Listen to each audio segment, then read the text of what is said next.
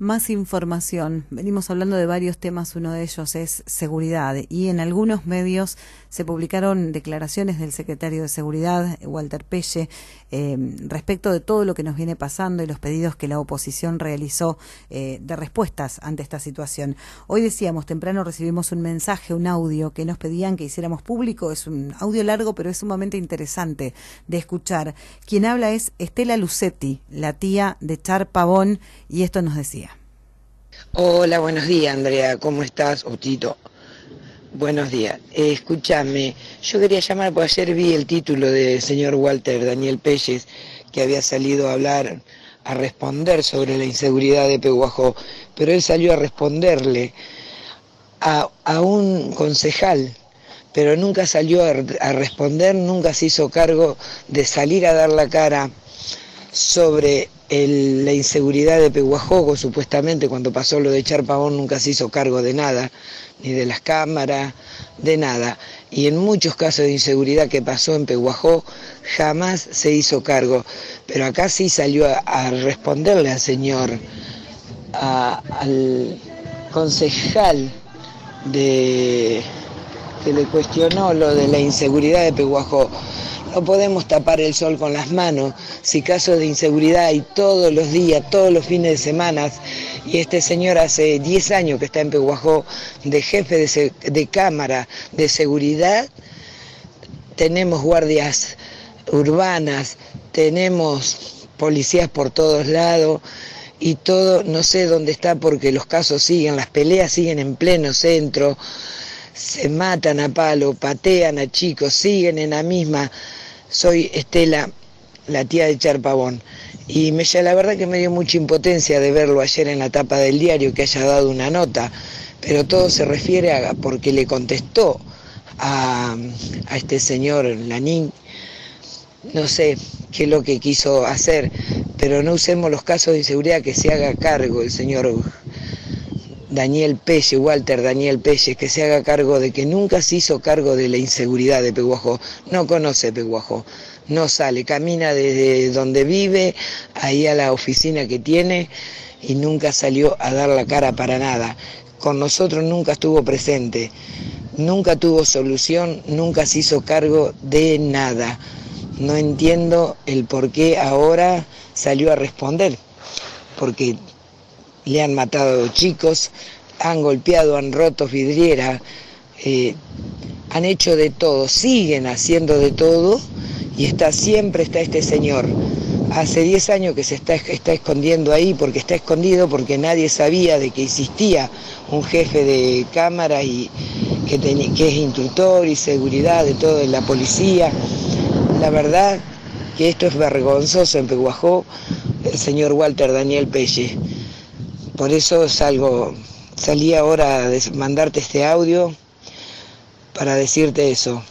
La verdad que me sorprendió.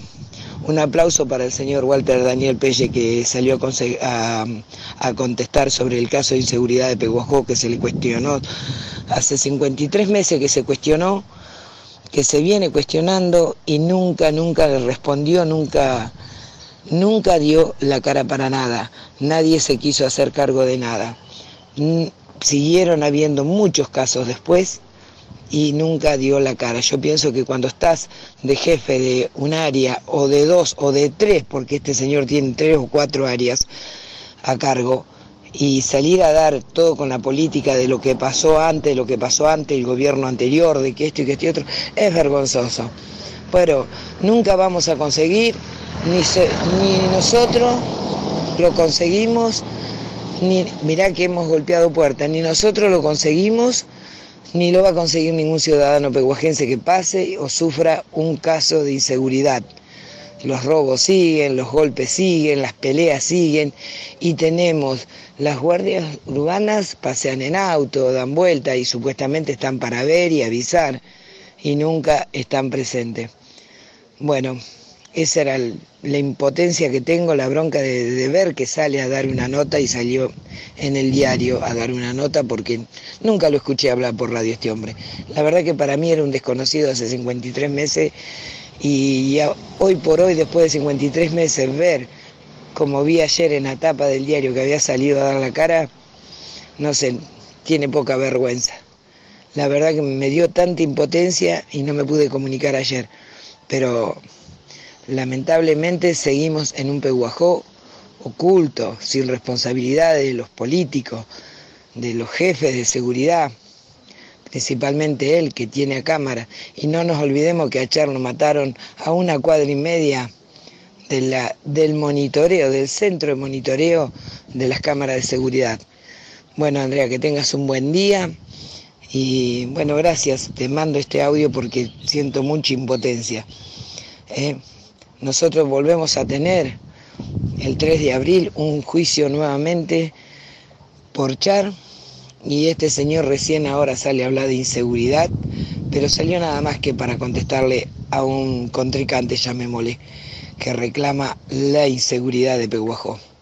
Y así estamos en Peguajó, con los señores sentados en las oficinas sin conocer los barrios, sin conocer nada, y bueno, y así seguiremos estando hasta no sé cuánto porque este señor va a seguir estando. Lamentablemente seguiremos teniendo un jefe de seguridad que en vez de proteger a los ciudadanos, sale a hablar cuando pasa alguien que le, eh, que le cuestiona, cuando un concejal le cuestiona algo, no cuando un ciudadano de Peguajó le preguntaba o le decía y eso y él no tenía respuesta, jamás tuvo respuesta para nada no sabe qué responder cuando uno le pregunta o le dice las cosas. Muchas gracias, Andrea. Perdona que, que te haya mandado este audio y tomarme el atribuimiento, pero siento mucha impotencia sobre este señor que ocupa un sillón de gusto en Peguajo.